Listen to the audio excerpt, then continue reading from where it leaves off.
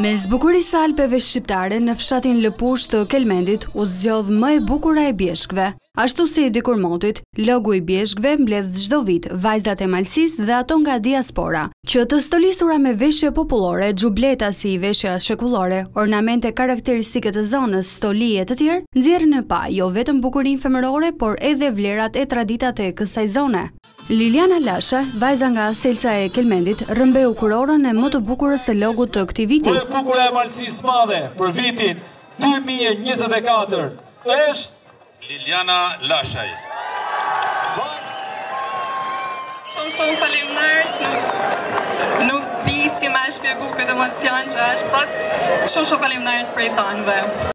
Festa që mblodhi banorë të zonës, turistë dhe miq nga trojet shqipfolëse dhe diaspora, ka zgjatur për disa orë me radhë, ku nuk munguan edhe interpretimet artistike.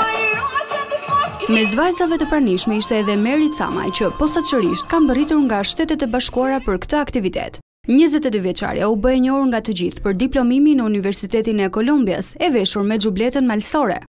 Unë personalisht, unë kurrë s'kisha mujtë me imagjinu faktin se aq shumë njerëz kishin me marrë vesh për faktin që e vesha xhubletën, unë e bëra me plotësu një andërr që e kam pasë që në momentin që u pranova tek universitet e dita që kur do të diplomoj, do vishi xhubletën e vajznisë që e kam në shtëpi, por kur erdha këtu në Shqipëri, edhe nëpërmjet rrjeteve sociale, mbështetjen që kam marrë prej popullin tim, unë e them gjithmonë, nuk ka vlerësim ma të madh se një vlerësim prej një shqiptar tjetër. Historia e logut të bjeshkëve është e hershme. Dikur njerëzit në mënyrë formale dhe të paorganizuar e shprehnin simpatinë e tyre për një nga vajzat apo nuset e fshatit, duke e vlerësuar atë nga hiret e saj. Dikur, kjo ditë logu kishte karakter fetar, ku në Malësi njihej si festa e bjeshkatarëve, ndaj kjo festë ka marrë emrin Logu i bjeshkëve.